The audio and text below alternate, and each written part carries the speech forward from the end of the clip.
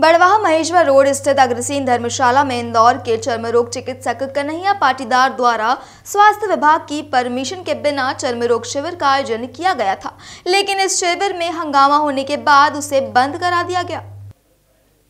दरअसल शिविर में मौके पर चिकित्सक द्वारा लिखी गई दवाओं को एक कंपनी के मेडिकल एजेंसी द्वारा शुल्क लेकर मरीजों को उक्त दवाइयाँ दी जा रही थी। जब इस बात की भनक स्थानीय मेडिकल व्यवसायियों को लगी तो उन्होंने इसकी शिकायत स्थानीय अधिकारियों से की। मौके पर पहुँचे अधिकारियों ने शिकायत सही पाते हुए, न सिर्फ़ शिविर बंद करवाया, बल्कि मरीजों को दी जा रही दवाइयों का पंचनामा बनाकर जब्त कर ली।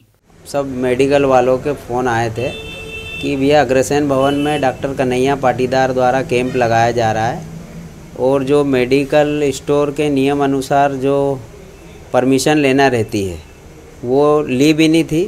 और दवाइयाँ वो खुद बेच रहे थे और पैसे भी ले रहे थे। हमारी ये शिकायत थी और कुछ नहीं थी। आवेदन दिया था, जिसमें हम पाँच सात मेडिकल वाले वहाँ मौजूद थे, जिसमें तहसीलदार साहब बीएमओ साहब और हमने हमारे सर जो ड्रग इंस्पेक्टर हैं, उनको भी इन्फॉर्म कर दिया था। उन्होंने बोला था कि यार आप देख लो, फिर मैं देखता हूँ।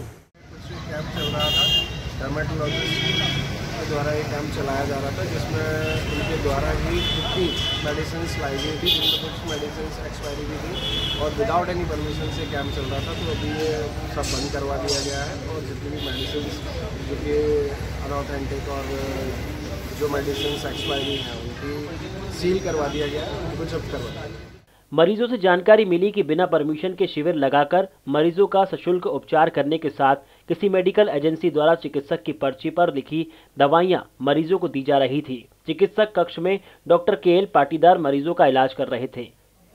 सीबीएमओ ने डॉक्टर पाटीदार से इस शिविर आयोजित करने संबंधित परमिशन मांगी, लेकिन वह उपलब्ध नहीं करवा पाए।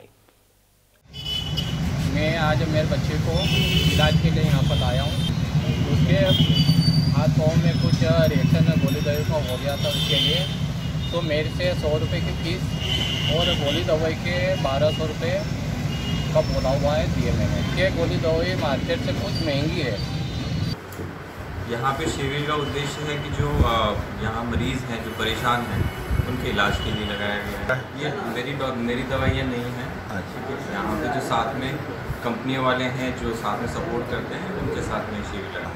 वो यहाँ लोकल मेडिकल से ले यहाँ पे जब वो दवाई जब मैं लिख रहा लिख रहा हूँ तो वो कॉमन में यूज़ में आने लगी है। वो जब आपके पास आ रहा है मतलब आपका ग्राहक है तो वो आपको आप उसको प्रोवाइड कर देंगे। सर नायब तहसीलदार राहुल सोलंकी ने भी मौके पर पंचनामा बनाकर दवाइयों की जब्ती की कार्रवाई की।